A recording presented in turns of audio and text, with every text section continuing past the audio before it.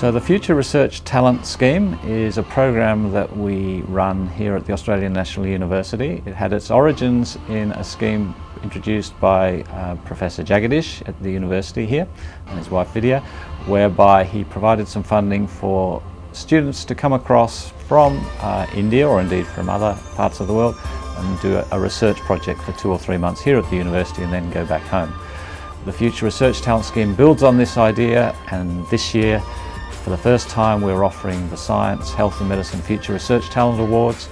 We offer funding for students to come from 19 of the top institutions in India to spend two or three months doing a research project here at the ANU. The FRT scholarship basically it provides you with financial support to go to Australia and do a research project for a span of 12 weeks in one of the finest labs that Australia has to offer.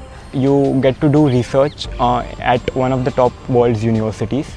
It provides us with the opportunity to see how labs work abroad, which will be different from the summer internships we have had here in India. To be in a whole new environment for a period of three months is like super exciting for me. Science is emerging in India in all sorts of ways, including the technology industries, and we, into the future, see significant partnerships, both in terms of basic sciences, applied sciences, development of technologies. So it's right across the whole sciences, right through from physical sciences, mathematics, engineering, through chemistry, earth sciences, astronomy, right through to biology, environment, medical researchers, even the public awareness of science. So right across the full breadth of the sciences are the sorts of research projects we're able to offer students in this scheme. So the students have to express an interest in the sorts of areas they'd like to do some research in our supervisors here, our staff here, look at the sorts of interests that the students are expressing interest in and they're putting forward projects. At some point the supervisor and the student is matched up and then the student arrives and then spends a lot of time with the supervisor.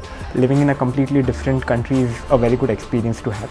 So we've been delighted with the feedback that we've had from the students. They've been particularly pleased with the close interaction they've had with their supervisors, the fact that they are working on research projects for which the answer is not known? It's a life-changing opportunity. I mean, those three months, I would say, a golden period of my life where I learned a lot of things and I see, I bring a lot of change in me. So the notion that they're working with a high level of independence at the cutting edge of research supported by and encouraged by the very best people in the field is something that they have taken great delight in.